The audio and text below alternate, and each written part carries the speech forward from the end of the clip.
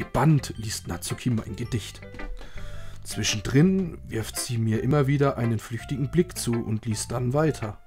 Mittlerweile muss sie es locker mehr als nur einmal gelesen haben. Ah. Hm? Ist es so schlecht? Nein, nein, ist es nicht. Es ist gut, es ist wirklich gut, okay? Bitte, jetzt habe ich es gesagt. Ah, so war das gar nicht geplant. Warum kannst du nicht einfach mies sein? Entschuldigung. Pff. Meine Gedichte sollen dich beeindrucken, nicht umgekehrt. Du willst mich beeindrucken? Offensichtlich denkst du, ich würde dich Juris Gedichte mehr genießen lassen als meine? Also manchmal halb, mach mal halblang. Nun, wenn das so ist, wo liegt dann das Problem darin, wenn ich dich beeindrucken will? Ich sag dir, worin das Problem liegt. Du! Plötzlich hält Natsuki inne. Ganz so, als ob ihr mit einem Male etwas klar geworden wäre. Du, du, du, du... Du versuchst, mich zu beeindrucken? Fast schon panisch lässt Natsuki ihre Blicke wieder über mein Gedicht schweifen. Dann rutscht ihr das Gedicht ohne Vorwarnung aus den Händen und flattert sanft zu Boden. Ich muss aufs Klo. Psst. Psst. War sie weg. Rot wie eine Tomate stimmt Natsuki aus dem Raum. Oh. Ich bin gerade irgendwie happy, keine Ahnung. Oh. Ah, sag mal, Kevin. Ist zwischen dir und Natsuki irgendwas vorgefallen? Sie ist gerade wie der Blitz an mir vorbeigestürmt. Du hast ihr doch nicht etwa etwas Schlimmes angetan, oder? Ja, nee, hast du nicht gesehen, Alter. Ich hab ihr richtig in die Fresse geboxt. Hä? Du hast ihr nicht was Schlimmes angetan. What the fuck? Nein! Nein! Bitte helfen Sie mir, ich bin hier in Gefahr. Hände hoch oder wir schießen. Ich habe ihr bloß gesagt, dass... Meine Worte bleiben mir im Hals stecken. Ich kann doch nicht Monika gegenüber einfach so zugeben, dass ich versucht habe, Natsuki zu beeindrucken.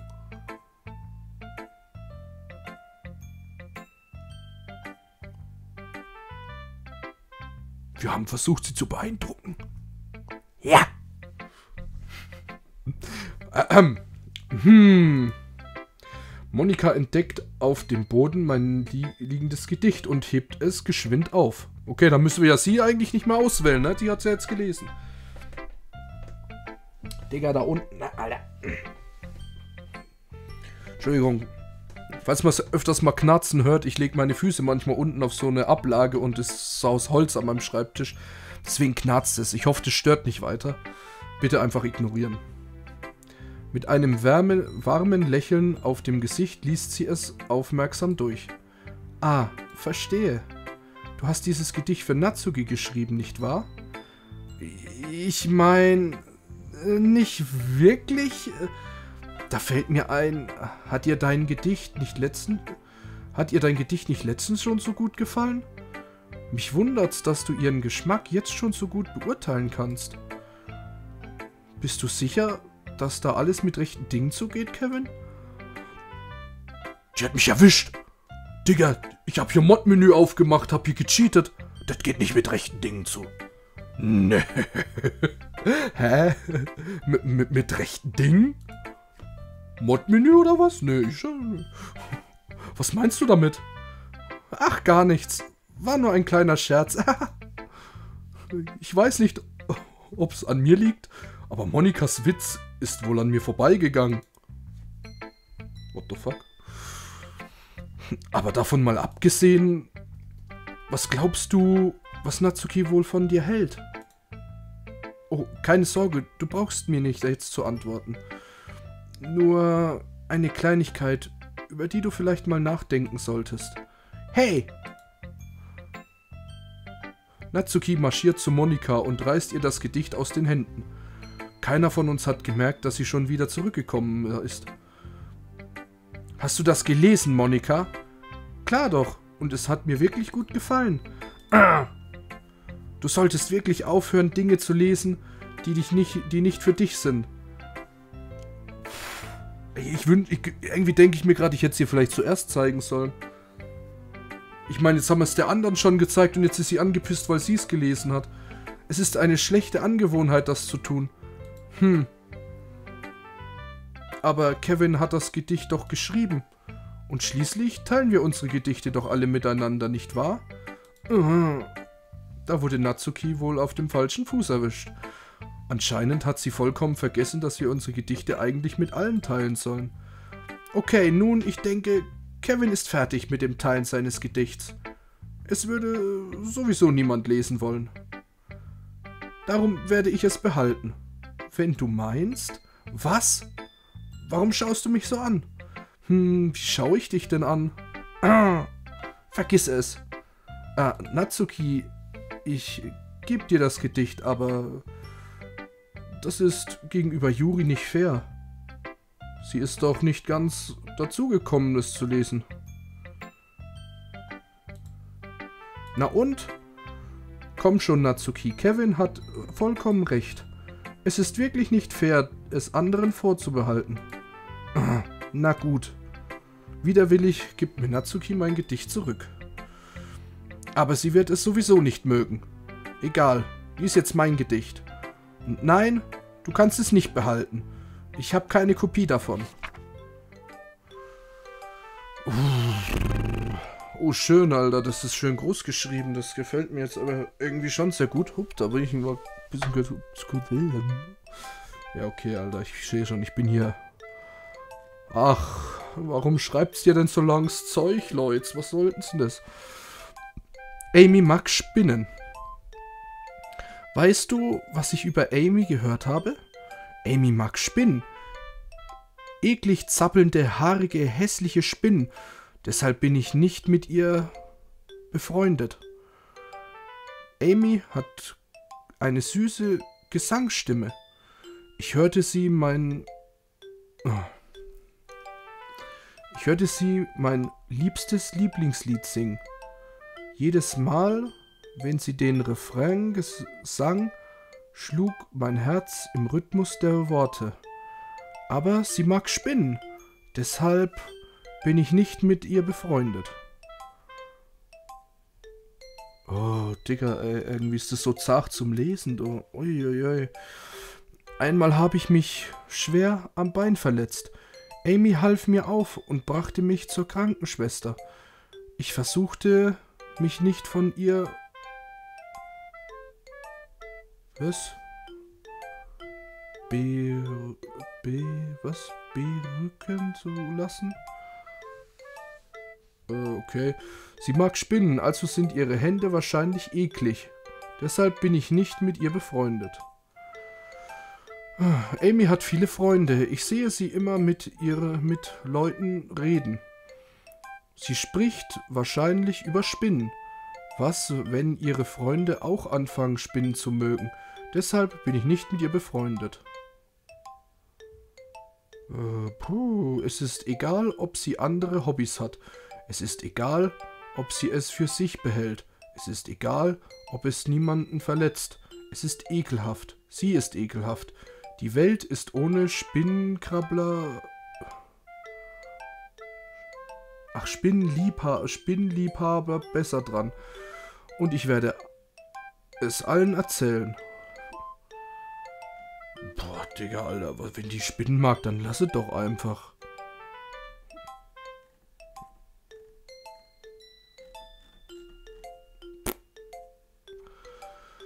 Puh. Ich glaube, ich trinke gleich nochmal einen Schluck. Könnt ihr erst so lange lesen.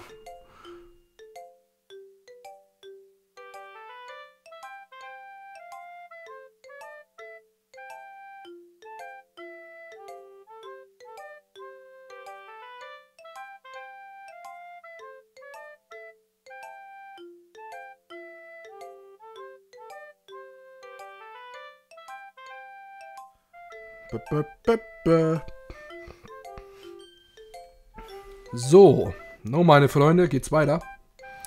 Okay, haben wir gelesen. Nicht schlecht, oder?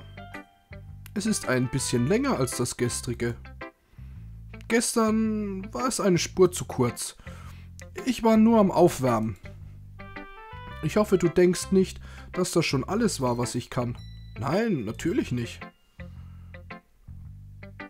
Wie auch immer, die Botschaft in diesem Gedicht ist ziemlich direkt. Ich glaube nicht, dass ich es erklären muss.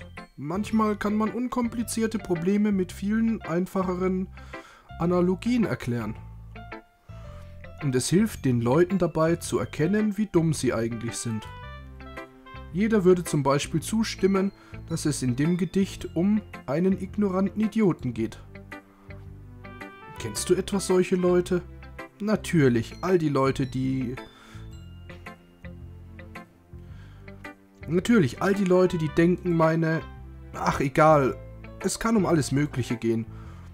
Ich habe es so geschrieben, dass man es leicht nachempfinden kann. Jeder hat ein seltsames Hobby oder heimliche Vergnügen. Etwas, wovon du Angst hast, dass, wenn die Leute es herausfinden, sie sich über dich lustig machen oder schlechte, schlecht von dir denken würden. Aber das macht die Leute einfach nur dumm. Wen kümmert es, was jemand mag, solange es niemanden verletzt und es einen glücklich macht? Ich denke, die Leute müssen wirklich lernen, andere zu respektieren, selbst wenn sie seltsame Dinge mögen. Da hast du eindeutig recht. Ja. Das sind er und ich, wir sind uns da einig. Auf jeden Fall. Kann man gar nicht überspringen. Hm. Zumindest kann ich es nachvollziehen. Und ich bin sicher, viele andere können das auch. Weißt du... Ich bin froh, dass du diese Art des Schreibens zu schätzen weißt. Ich meine, ich weiß, dass ich darüber gestern gesprochen habe. Aber ich war... Nun, es hat mir Spaß gemacht, meine Texte mit dir zu teilen, von daher... Von daher, schätze dich glücklich, okay? Ja, tu ich. Nun, danke, dass du so erleichtert, so ehrlich bist. Erleichtert, Digga, was los? Was soll das denn heißen? Ich bin immer ehrlich. Gott. Freu dich einfach auf morgen, okay? Werd ich. So, Monika, warum Monika? Die hat's doch schon gesehen. Machen wir mit der Juri weiter. Mal sehen, was du heute geschrieben hast. Hm, hm. Gute Arbeit, Kevin. Deine Fähigkeiten verbessern sich bereits. Wirklich? Danke, Juri. Es bedeutet mir sehr viel, das von dir zu hören. Ähm, nicht der Rede wert. Ich freue mich nur, meinen Kollegen dabei helfen zu können, sich inspirieren zu lassen. Ich weiß, dass dir alles relativ neu ist. Deswegen mache ich dir keine allzu großen Deshalb mach dir keine allzu großen Sorgen, wenn es äh, scheint, als würde sich dein Gedicht nicht perfekt anfühlen. Du brauchst dich nicht davor zu scheuen, ein wenig waghalsiger zu sein. Metaphern können richtig weit gehen. Du musst dein Gehirn nicht wie eine Art Räderwerk arbeiten lassen. Versuche deinen Verstand, deine Gefühle, deinen Verstand, deine Gefühle durchforsten zu lassen deinen Verstand, deine Gefühle durchforsten zu lassen. Ich wollte gerade sagen, warum ist da kein Komma? Ah, Digga. Schreibe dir die Sachen auf, die du siehst und hörst. Dies ist ein Weg, es den Lesern zu ermöglichen, einen Einblick in deinen Verstand zu bekommen. Eine wahrlich intime Übung. Verstehe. Eine wirklich interessante Technik. Danke für die Info. Ich hätte da, äh, naja, ein Beispiel dazu, wenn du es vielleicht gerne lesen möchtest. Na klar. Ist das das Gedicht, das du für heute geschrieben hast? Schüchtern nickend zeigte sie mir schließlich ihr Gedicht. Der Waschbär. Der Waschbär. Es passierte eines Nachts, während ich Ach nee, was, was soll das heißen? Während ich Brot für einen Happen heimlich einen Vergnügensschnitt. Meine Aufmerksamkeit verfing sich im Wissen, Tapsen eines Waschbären ist.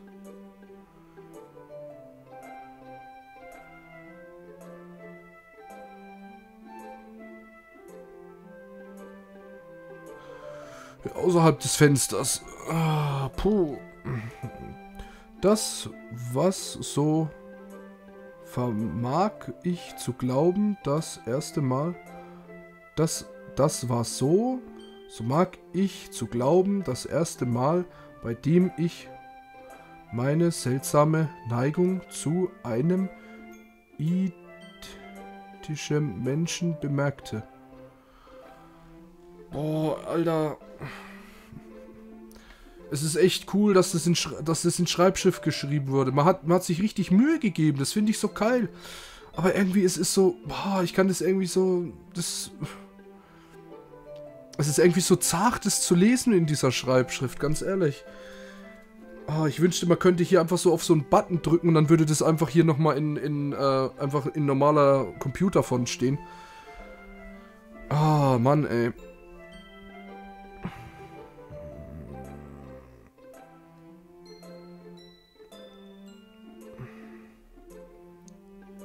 Digga, ich kann das echt nicht lesen. Also ich weiß nicht, was, was soll das hier sein? Ich reichte dem Waschbären ein Stückchen Brot. Mein unbewusstes, mein Unterbewusstsein wohlwissend der Konsequenzen. Wohlwissend eines Waschbärens nimmer endenden Rückkehrs, wenn einmal gefüttert.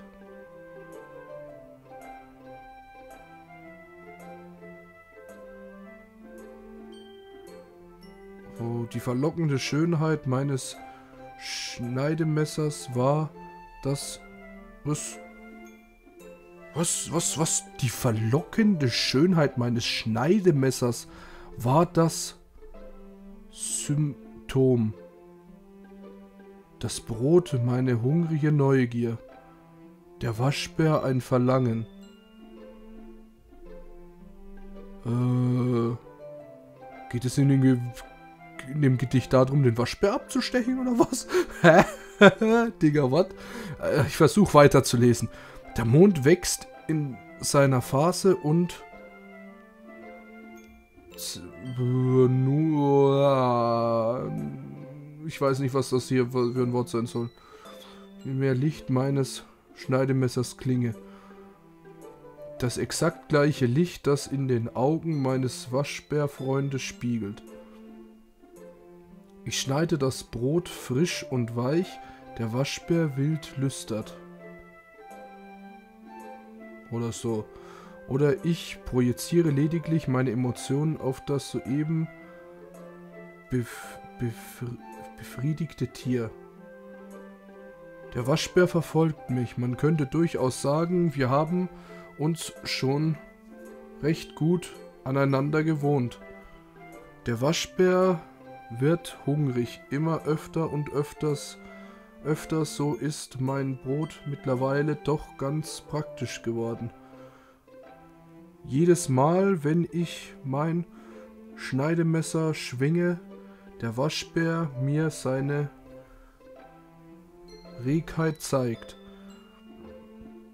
Ein Rausch von Blut. Klassische Paulosche. Oh, ja, Spiritus Sanctus, Amen. Digga, ich, kann das. Ich, ich, ich erkenne die Worte hier nicht. Paulosche Konditionierung. Uff, ganz schwierig, Jungs, ganz schwierig. Also, wenn das einer von euch lesen kann, dann äh, Respekt. Könnt ihr mir ja vielleicht mal in die Kommentare schreiben, was genau da steht. Aber ich kann, ich krieg das echt nicht gelesen so. Okay, ähm, ja, ich hoffe, ihr nehmt mir das nicht übel, dass ich es jetzt nicht so genau vorgelesen habe. Wie gesagt, ihr könnt gerne Pause drücken und selbst lesen. Ich, boah, nee, ich mache jetzt hier weiter, sonst werde ich narrisch. Ähm, ich war mit diesem hier ein wenig waghalsiger als mit dem von gestern. Ja, es geht um Schnittmesser und Bär und Waschbären. Das ist keine gute Kombination, wie ich jetzt finde. Also Schnittmesser sind generell schwierig. Auch wenn man nur Brot mit aufschneidet. Oder Hartwurst. Ganz schwierig, ja. Das sehe ich. es ist viel metaphorischer. Kann gut sein, dass ich gerade auf dem Schlauch stehe, aber ich habe noch nicht einmal die leiseste Ahnung, um was es in ihrem Gedicht auch nur ansatzweise gehen soll. Geht darum, um Waschbär abzustechen. Keine Ahnung. Was weiß ich. Oh, Mann, ey. Nee. Ah, Digga, meine Jokes hier, oder was? Ah, vollkommen richtig. Es gleicht vielmehr meinem Präf präferierten Schreibstil. Ein Gedicht als Leinwand zu benutzen, um rege Metaphorik auszudrücken und Emotionen zu vermitteln. Ja, wenn ich's kritiklos hinnehme, dann kann ich nicht mal rausfinden, was es überhaupt bedeuten soll. Nun, ich finde, es ist etwas, in das sich verschiedene Personen auf ihre eigene Art hineinversetzen können. Ich wollte ausdrücken, wie es für mich, wie es sich für mich anfühlt, sich meinen eher ungewöhnlichen Hobbys hinzugeben. Es sind solche Dinge, die mich meistens dazu zwingen, sie geheim zu halten. Deswegen mag ich es, ab und zu über sie zu schreiben. Ah, das ist lustig. Hä? Hat Natsuki nicht auch mal sowas geschrieben?